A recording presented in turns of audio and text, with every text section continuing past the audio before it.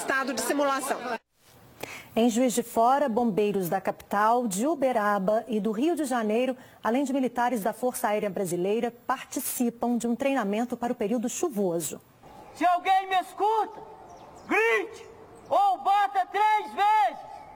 Socorro! Socorro! Socorro!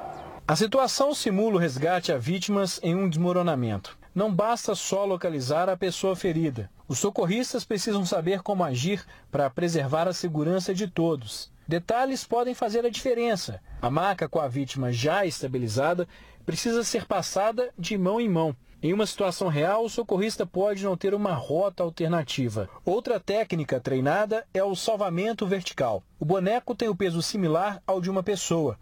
A situação simula o resgate em uma laje. Busca e resgate em estruturas colapsadas. Esse é o nome do treinamento ministrado em Juiz de Fora para 33 militares. Porque é uma fase de preparação para a capacitação dos nossos homens para a resposta do período chuvoso. Durante o período chuvoso, a gente costuma ter mais ocorrências com estruturas colapsadas. O tenente Júlio é do Corpo de Bombeiros do Rio de Janeiro e trabalha em Petrópolis. Estamos aqui no Corpo de Bombeiros de Minas Gerais justamente para aprimorar a nossa técnica, né? Já que nós estamos numa região, na região serrana, cidade de Petrópolis, onde rotineiramente acontece esse tipo de evento. Isso parece apenas entulho amontoado, mas na verdade é uma pista de treinamento. E mais, ela segue padrões internacionais determinados por uma entidade vinculada à ONU que faz toda a capacitação, treinamento de pessoas especialistas em busca e resgate em estruturas colapsadas.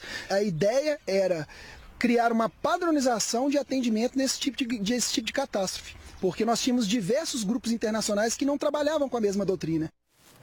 O fim de semana deverá ser com chuva. Aqui na capital,